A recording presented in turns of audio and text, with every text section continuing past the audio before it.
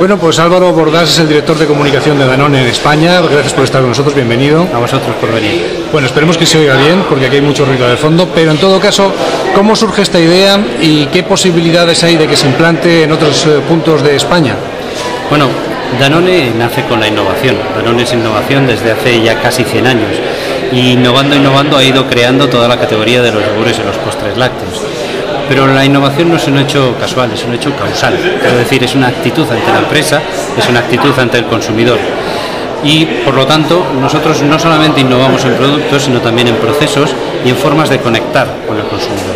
Y esta es una nueva forma de conectar con el consumidor a través de unas herramientas que hoy en día nos lo facilitan. Los smartphones son lo que tienen mayor penetración en España ahora mismo y gracias a ellos podemos llegar al consumidor de una forma diferente, facilitándole más contenidos, facilitándole más información y facilitándole formas de ahorro más interesantes. el, ahorro aquí es hasta de 20 euros, ¿no? Prácticamente en un mes. Puedes llegar incluso hasta 40 euros. Hasta 40 euros.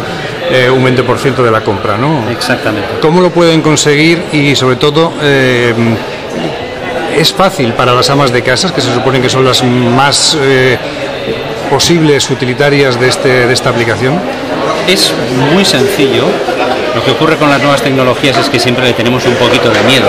Por eso hoy hemos establecido aquí una serie de asesores que te enseñan a bajarte las aplicaciones necesarias para realizar estas operaciones y a partir de ahí lo único que tienes que hacer es con tu aplicación de lector de códigos QR ir leyendo en los productos esos códigos que directamente te van a llevar, te van a hacer el ahorro en tu cuenta. De modo de manera que tú cuando vayas a comprar te van a descontar ese ahorro que tú vas a ir haciendo, acumulando a lo largo del mes. Tesco hizo algo parecido en Seúl, en Corea.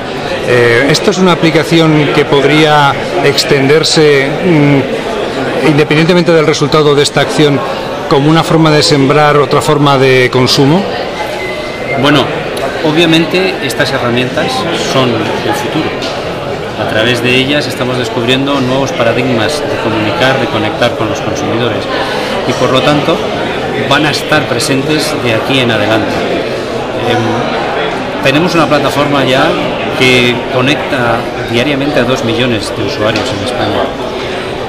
Es una plataforma que va a ir creciendo y es una plataforma de futuro es una, esta iniciativa es pionera en Europa y, por supuesto, irá creciendo país por país y, desde luego, en España, sin ningún lugar a dudas.